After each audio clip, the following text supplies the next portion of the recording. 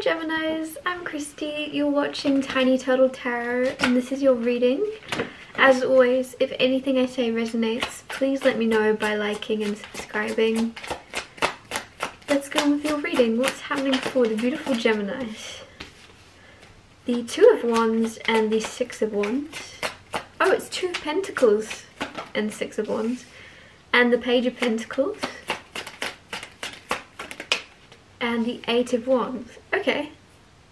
So Two of Pentacles is juggling. You might have a lot going on very soon, but you're going to successfully be able to manage whatever it is you've got happening.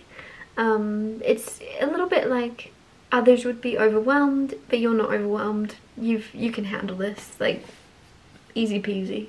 Then you have Six of Wands, which is success and victory, so things will work out very, very well for you. If you have two projects going on at once, if you're very much um, stretching yourself quite thin between projects or work and home, it's almost as if you might convince yourself the quality of your work is decreasing or it's not going to be as successful. But I'm getting this feeling that you're completely wrong and you're going to be happily surprised that you realize, oh, you are still creating very good work, whatever it is you do. Others of you, it's just like, some of you, it's almost like your family's getting bigger and bigger. And there's some type of worry, like you thought because you're so busy all the time that you'd be less for everyone, but you're not. You're still somehow keeping up.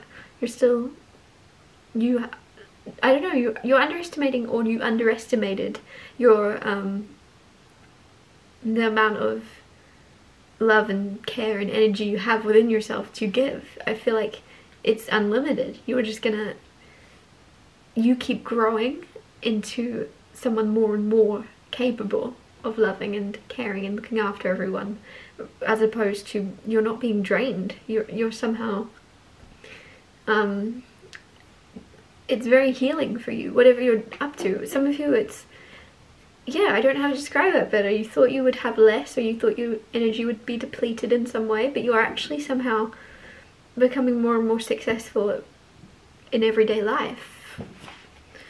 You have the Page of Pentacles also, which is a gift or an opportunity coming in, and you have the Eight of Wands, which is something happening very fast, communication coming in, um, letters, emails, phone calls, but I'm getting understanding, understanding. So there's some type of understanding that's going to come from a conversation or a phone call um, that you may have lacked or you didn't quite, something wasn't completely um, clear to you, but it's going to become very clear. Clarifying the Two of Pentacles, you have the High Priestess.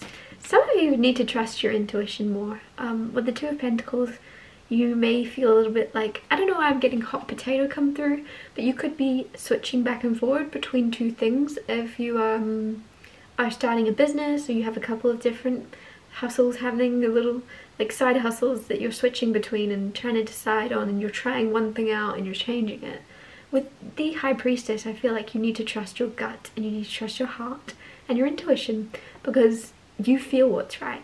And I feel like something may take off very quickly but you feel like you want to do the other thing, if that makes sense. You There's something that's going to bring you very fast success, there's something where you feel it's going to bring you long-term success and you know they're two very different things. Trust your intuition, okay, when it comes to choosing, if you're choosing between two things.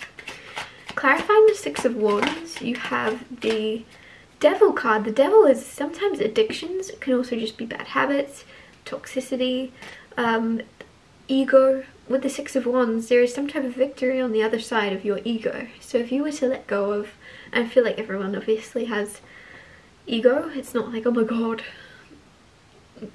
Um, yeah, I'm not saying it as a bad thing, but there's something where if you pay attention to what it is that you're um, afraid of showing to the world, I don't know, there's something about wearing your heart on your sleeve or being more putting yourself out there in a way that makes you a tiny bit vulnerable in your eyes but not in others. You see something as bigger than it is. You see something as oh I couldn't do that. Oh what would someone think?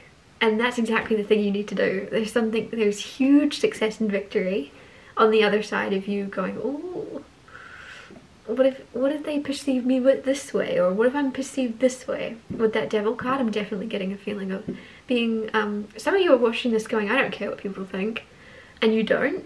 However there's one person and it might be someone in your close family or it might be someone um your best friend or something that you actually do care about what they think because you value them and you value their opinion. But um yeah. It, there is a certain level of this there's also a certain level of like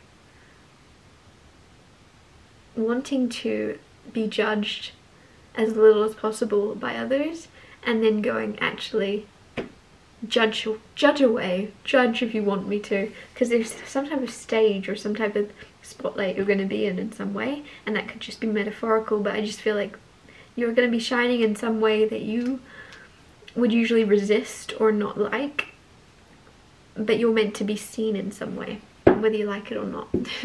Clarify the page of pentacles and you will like it because you'll be doing good in some way clarifying the page of pentacles you have the magician so there's some type of opportunity that you have actually manifested that you've you've brought it into your life you already it's not like you wouldn't be surprised when this comes in because you've been thinking about it. You've been thinking about it heavily and then it's given to you, which is really cool. It's something you already have had on your vision board or on your, um, like, I don't know, it's like what you were planning on, what you're heading towards. It's in your goals. It's, I don't know why I'm getting, um, what's it called at the start of the year when you make a list of things. Um, I don't know why that's coming through. Hopefully you know what I'm talking about. New Year's resolutions. I don't know why there's something where something on your New Year's resolutions or something that was maybe just on a list that looks like that um, is gonna come come to fruition in some way. Clarify the Eight of Wands. The Ten of Wands. Some of you are letting go of um, communications more easily. So some you could be, I don't know why I'm getting the word baiting, but I am for a reason. Eight of Wands, Ten of Wands shows me there could be somebody that is baiting you in some way and you're going to be more like not taking the bait. If you were in the past, um, there's something where you're walking it off, you're letting it go. And a lot of the time I tell you not to do this, but it seems like this is a switch for you. It's a switch up. Maybe you have already been standing up for yourself and it's just falling on deaf ears. It's like talking to a brick wall um, because there's something where you're not taking the bait. Someone is baiting you and they're going to be very shocked when you kind of go, huh. Laugh it off, walk it off, ignore them completely because you're not caring. You're not interested.